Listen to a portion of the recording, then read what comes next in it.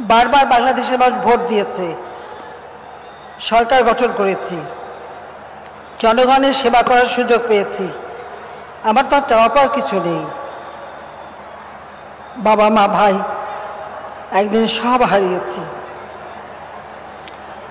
মানুষ একজন আপনজন হারালে সেই শোক সইতে পারে না। আর আমি রেহানা আমার এখানে অনেকে যারা আছে। আপনি একবার চিন্তা করেন তো।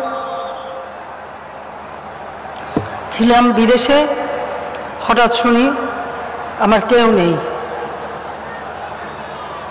যখন ঢাকা থেকে যাই, তখন তো আমার কামাল জামাল, রাসেল, কামাল জামাল, স্ত্রী সবাই তো এয়ারপোর্টে ছিল। কিন্তু যখন আমি ফিরে আসি, আমি তো কাউকে পাইনি। আমি দেখেছিলাম শুধু বনানীতে সারি সারি লাশ।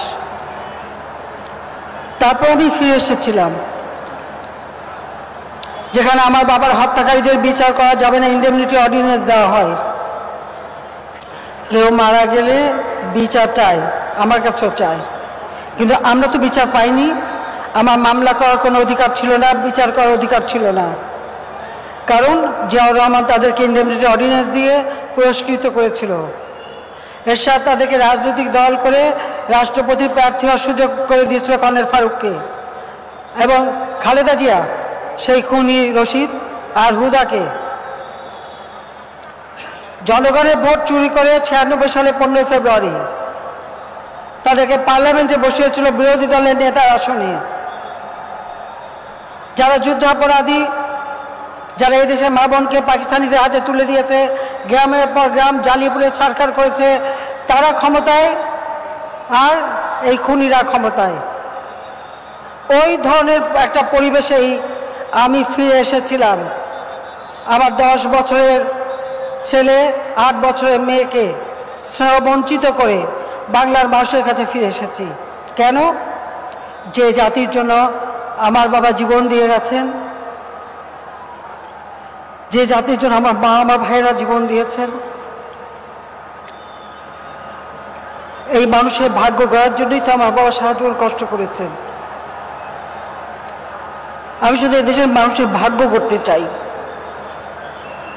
ক্ষুধা দারিদ্র থেকে মুক্তি দিয়ে উন্নত জীবন দিতে চাই। আমার যাওয়া পাওয়ার কিছু নেই।